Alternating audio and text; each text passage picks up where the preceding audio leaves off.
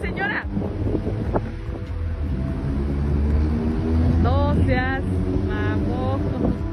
en el paso a desnivel de la 11 Poniente y Libramiento Sur, ganador del tercer lugar del premio Obras CEMEX 2022 en el rubro de infraestructura, han habido desde su inauguración cinco accidentes viales y una persona muerta. Estuvimos haciendo un mapa de georreferenciación de accidentes eh, viales, ¿no? específicamente para identificar cómo se comporta en la ciudad, en qué puntos están sucediendo y con qué nivel de violencia. Eh, en ese punto han ocurrido cinco accidentes eh, viales a partir del puente, ¿no? y es, es interesante porque en el mapa eh, los accidentes se concentran justo ahí ¿no? y tienen que ver con el incremento de las velocidades del punto al sustituirse el semáforo por un, por un puente vehicular.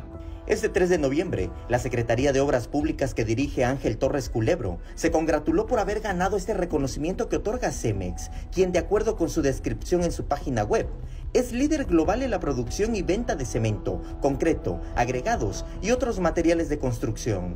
En este puente se privilegió al vehículo y no a la ciudadanía. Así lo reflejan estas imágenes de la Asociación Civil Caminabilidad, donde las personas no tienen acceso a banquetas, tampoco hay rampas de acceso. Y quedó, quedó con desperfectos una persona que, que, perdió la vida en ese punto, que el 80% de los accidentes que suceden o que han sucedido en, ese punto tienen que ver con usuarios y usuarios del transporte público y peatones, es decir, quienes están muriendo en las calles, pues son las personas más vulnerables en la vía.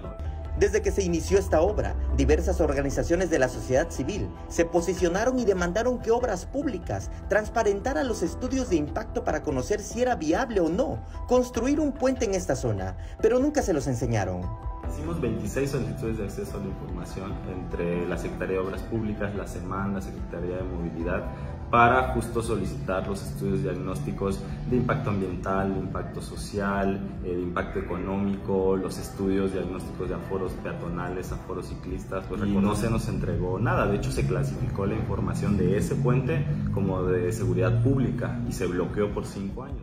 En entrevista para Alerta Chiapas el 24 de octubre, Ángel Torres aseguró que los estudios sí se hicieron, no como en administraciones pasadas, que no se elaboraban. Sí, todos los dictámenes existen. Nosotros no podemos construir sin tener los permisos. Y los permisos los... Este... Mira, ¿cómo, cómo, cómo... Te lo voy a decir con todas sus letras. Sí. En antiguos gobiernos se trabajaban las obras cuando se hacían porque era gobierno del Estado. Hoy nosotros pedimos permisos a los municipios. Tenemos el permiso del municipio de Tuzla Gutiérrez, la licencia, el alineamiento y número oficial, cosa que no se hacía antes. Eso es orden. Eso es tener precisamente respeto por la normatividad. Para el activista en esta zona de la ciudad, no ocurrían accidentes relacionados con el exceso de velocidad, como los que están ocurriendo ahora que se construyó este puente vehicular, y que por lo mismo, la necesidad de conocer los estudios que el secretario asegura que sí se hicieron. Samuel Revueltas, Alerta Chiapas.